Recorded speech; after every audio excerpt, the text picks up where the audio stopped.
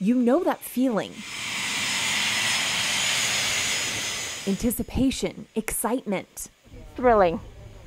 Really thrilling. just wanting your special someone to get off that plane. We were just so excited and ready for her to get here. When that plane came in and I knew what was in it, this precious cargo, I was just, I couldn't wait.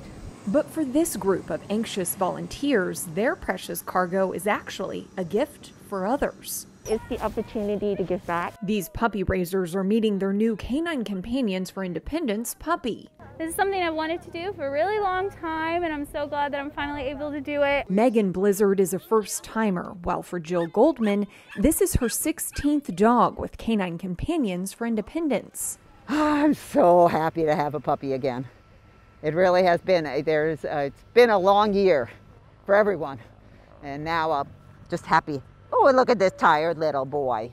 They'll raise the future service dogs over the next year and a half, preparing them to help others. It's a big job and a great purpose that we're helping out with. It's wonderful to watch them work and know that it's really made a difference. Now, even though the trip to come together has ended, it's time for the real journey to begin. Well, raising a puppy is gonna be it's gonna be a long road, um, but it'll be worth it in the end.